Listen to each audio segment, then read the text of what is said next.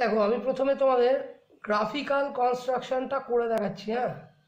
তোমরা গ্রাফিক্যাল কনস্ট্রাকশনটা লক্ষ্য রাখো, তাহলে বুঝতে পারবে। ফার্স্ট অফ অল আমরা কি করব? ফার্স্টে আমরা একটা লম্বা প্লেন খাতায় সেন্টার করে লাইন টানবো হ্যাঁ? আমরা এটা খাতায় পেনে করছি, কারণ তোমাদের ভিজিবিলিটিটা পরিষ্কার হবে। ফার্স্ট অফ অল আমরা একটা লম্বা লাইন টানবো খাতার উপরে, পরিষ্কার। এবার এখানে চাঁদাটাকে বসাবো। বসিয়ে তিনটে কাজ করব। দেখো ভালো করে লক্ষ্য করো, দেখতে পাবে পরিষ্কার। লাইনগুলো তো একটু বড় হবে।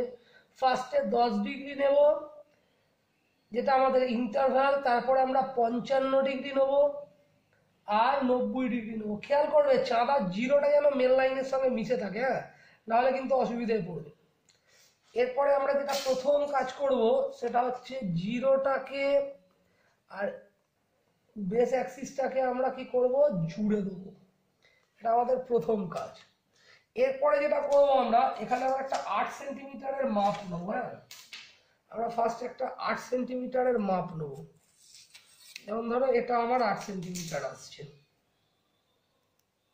আমি প্রথমে একটা আট সেন্টিমিটারের মাপ নিলাম। দেখো, এটা আমার আট সেন্টিমিটার। এই যে এইট সেন্টিমিটারের একটা মাপ নিলাম। নিলাম আট সেন্টিমিটারের মাপ। নেওয়ার পরে এখানে পয়েন্ট বসিয়ে একটা আমি বৃত্তচাপ আঁকবো এইভাবে।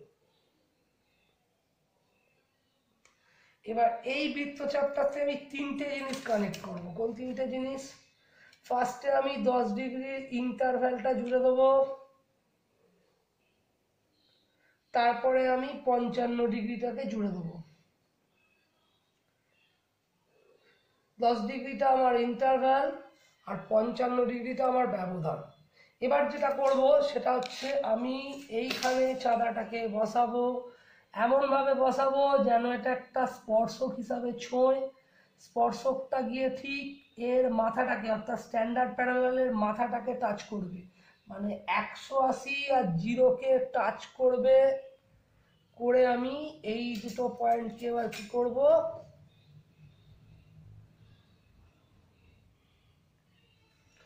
যোগ করে দেবো।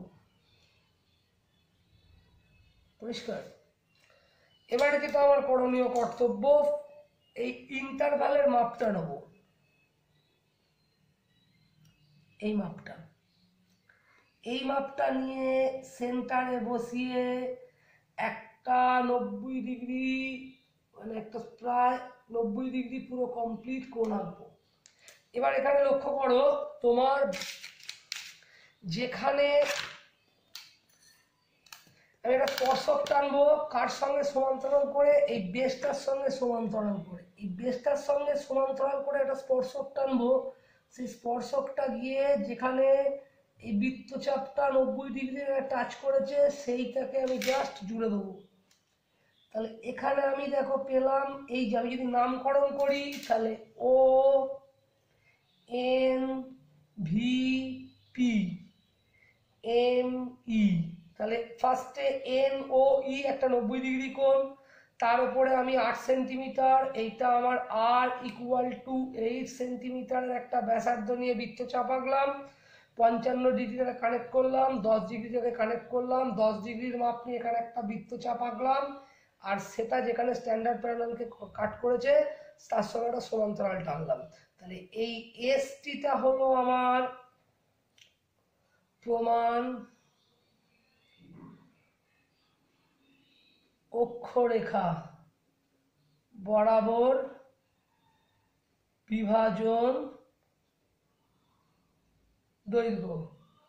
আর এটা হলো আমাদের মধ্য দ্রাঘিমা, বরাবর, বিভাজন, দৈর্ঘ্য। পরিষ্কার?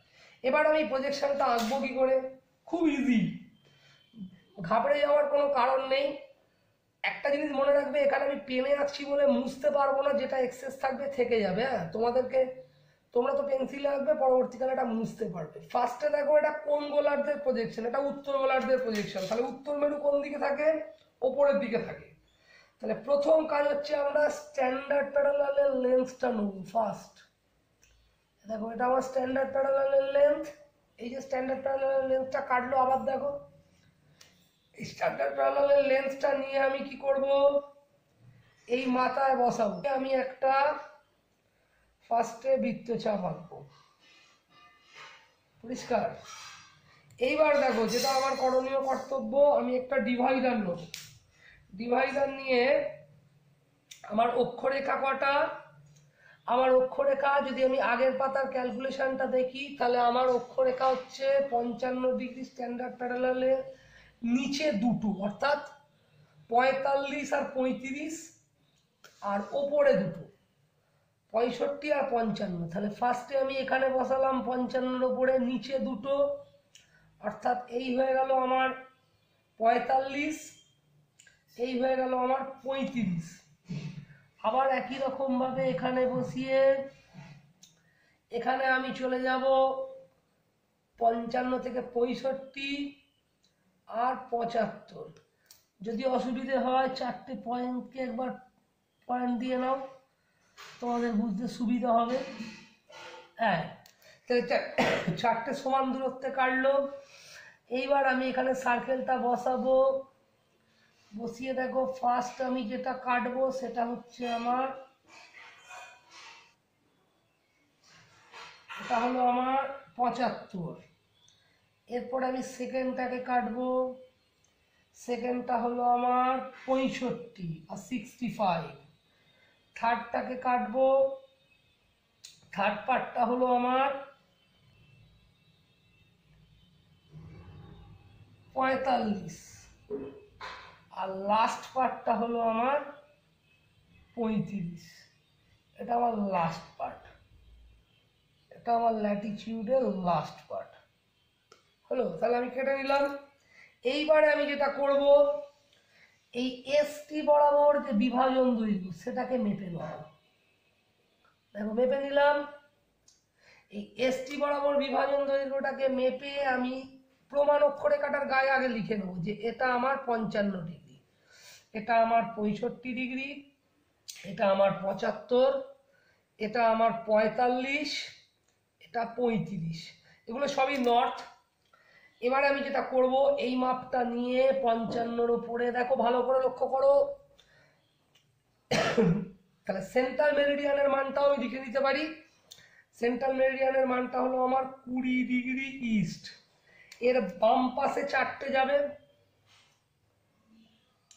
এক, দুই, তিন, চার, এর ডান পাশেও চারটে যাবে।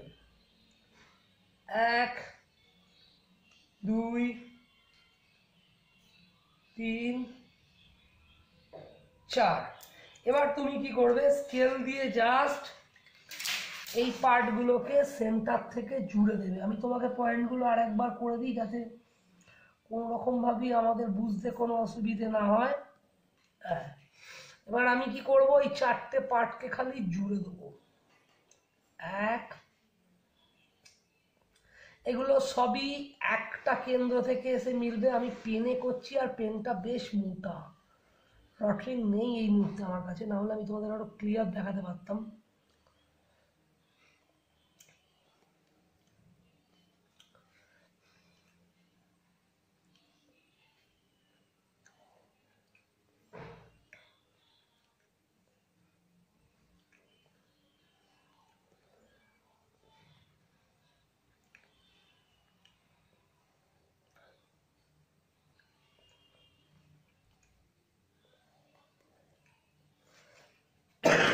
সরি তাহলে এটা আমার প্রজেকশনটা কমপ্লিট হয়ে গেল। তাহলে এখানে কি কি থাকতে হবে? এটা আমার কুড়ি ডিগ্রি ইস্ট। তাহলে ডান দিকে বাড়বে। তিরিশ ডিগ্রি ইস্ট, চল্লিশ ডিগ্রি ইস্ট, পঞ্চাশ ডিগ্রি ইস্ট, ষাট ডিগ্রি ইস্ট। এটা আমার দশ ডিগ্রি ইস্ট, জিরো ডিগ্রি, দশ ডিগ্রি ওয়েস্ট, কুড়ি ডিগ্রি ওয়েস্ট। তাহলে লিখে দিলাম, এখানে কি থাকতে হবে? এখানে একটা হেডিং থাকতে হবে। হেডিং কি হবে? সুন্দর করে হেডিং দেবে, এক, প্রমাণ, অক্ষরেখা, বিশিষ্ট, সাংকব অভিক্ষেপ। আর একটা জিনিস অবশ্যই থাকা উচিত আর এফটা আর এফটা কত ছিল? ওয়ান ইস টু আশির গায়ে ছটা শূন্য। এখানেও কিন্তু আর এফটা থাকা উচিত। অর্থাৎ গ্রাফিক্যাল কনস্ট্রাকশনেও কিন্তু আরেকটা থাকা উচিত। তাহলে এই আরেকটা রইল। তাহলে একটা আর এটা আমার মেন প্রজেকশনের আরেক রইল আর এটা আমার গ্রাফিক্যাল কনস্ট্রাকশনের আরেক রইল। তাহলে এইটা হলো সোজা উপায় প্রজেকশন আঁকার। আশা করি আমি তোমাদের বোঝাতে পারলাম। যদি ভালো লাগে প্লিজ একটু লাইক করো শেয়ার করো সাবস্ক্রাইব করো, আর সমস্যাগুলো অবশ্যই কমেন্টে লিখে জানিও। থ্যাংক ইউ সবাই বাড়িতে থাকো, ভালো থাকো।